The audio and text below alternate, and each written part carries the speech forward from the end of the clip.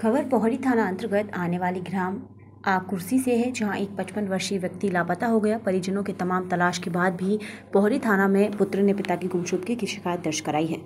सूचनाकर्ता दिलीप कुमार वर्मा, पुत्र गजाधर वर्मा, उम्र उनतीस साल, निवासी ग्राम आकुर्सी थाना पोहरी पर पहुंचकर रिपोर्ट दर्ज कराई कि दिनांक एक अप्रैल 2023 के करीब दोपहर एक बजकर तीस बजे की बात है। मेरे पिता गजाधर वर्मा, पुत्र बद्री प्रसाद वर्मा, उम्र पचपन साल, घर से शिवपुरी की कहकर बहन रीना वर्मा के यहाँ गए थे।